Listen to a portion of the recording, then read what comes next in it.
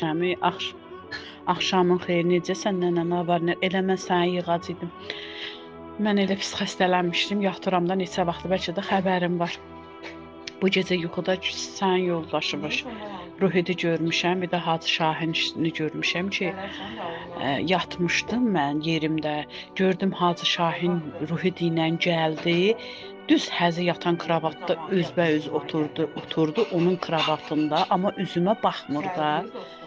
Hə, deyirəm ki, şeydir, ay Allah, bu nə əcəb bizə gəl. Baxır bizim evin yuxarı başında Allahın adları var da 99 ismi. Ora baxır. Belə elə deyir, niyə fikirləşirsən ki, bu bura niyə gəlib? Mən mən də elə sənin kimilərin qəlbində yerim var da. Gəlmişəm sənə dua eləyim. Ruhit də belə əlin qoyub onun çiyninə. Sonra deyirəm ki, ay Allah, necə utanıram bu bizə gəlib. Baxır deyir ki, gəlmişəm sənə dua eləyim və gedirəm burdan. Əlim belə tutur, deyirəm ki, hara gedirsən? Deyir ki, burdan da gedirəm Məkkə Mədinəyə mənə rütbə veriblər. Dur mənim saroşkalarım sizin paltarıya maşının içindədir də. Gətirib ver Ruhi də götürsün.